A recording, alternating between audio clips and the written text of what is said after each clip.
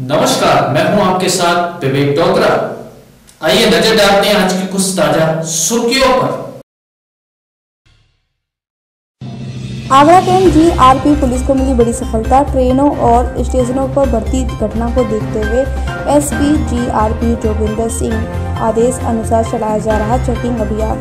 Checking अभियान को दौरान स्टेशन परिसर में सातिर अपराधी सादाब को किया गिरफ़्तार। शातिर गिरफ़्तार अपराधी के पास से एक मोबाइल और नकदी हुई बरामद।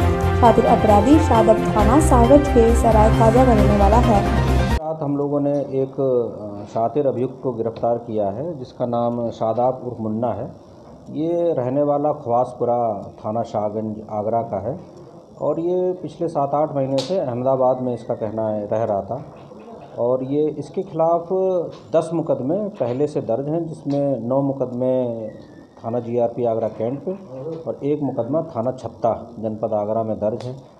काफ़ी दिनों से इसकी तलाश थी। ये जो उच्चाधिकारियों द्वारा टारगेटेड अपराधी हैं, उनमें भी इसका नाम था और ये काफ़ी दिनों से सक्रिय था। इसको बीती रात हम लोगों ने गिरफ़्तार किया। इसके पास से एक चोरी का मोबाइल और करीब छः हज़ार रुपये कैश बरामद हुआ है उसको जेल भेजा जाए किस तरह का अपराध ये किस तरह की वारदात को उसने अंजाम दिया? है ये ट्रेन में अपराध करता है और ये लोगों के जेब काटना और मोबाइल चोरी करना खासकर जो ट्रेनें स्टेशन पे खड़ी रहती हैं देर रात्रि में उनमें ये चोरी करता है।